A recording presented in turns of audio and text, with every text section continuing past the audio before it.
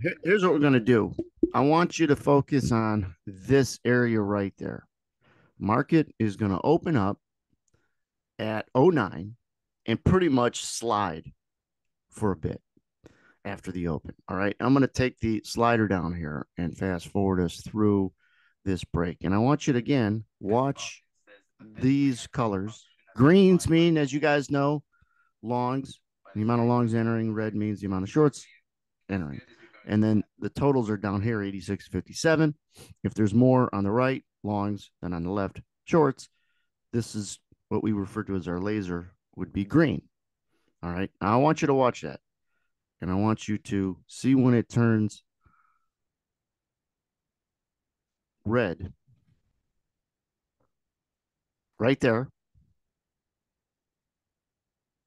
We go up a little bit. It goes green down, red up.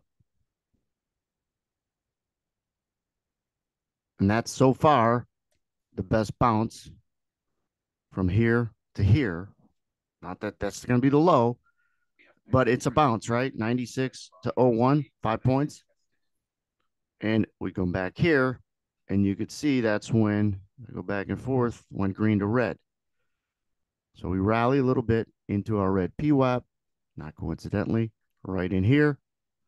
It curls over, uses this red dotted line as resistance, turns back green. We break. Look at all that red come in. Red comes in in here. We bounce a couple points. Longs come in. Shorts come in. Wait, let's back this up. Watch this moment. Two things happen here. Let's just play it. Two things happen. Shorts come in, and a sell pulse of 100 contracts, is pink box, gets rejected. Damn price doesn't even go below. Laser goes to red. Not that they were going to rally up to the open back to the highs of the forever. We're going to go to the forever highs. No, you're not trying to predict that. Stop trying to predict too far out in the future. You're not going to be accurate. You're going to be wrong way before you're right.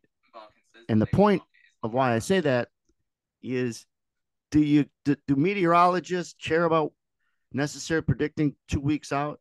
Five days, they're not accurate, but they'll throw that out there. You got to predict this afternoon before you could predict tomorrow.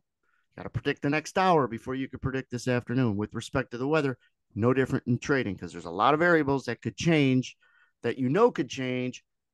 And therefore, you got to be the best at real time. Too many shorts, too many buyers, too many buyers. That's what's need, needed for price to go up.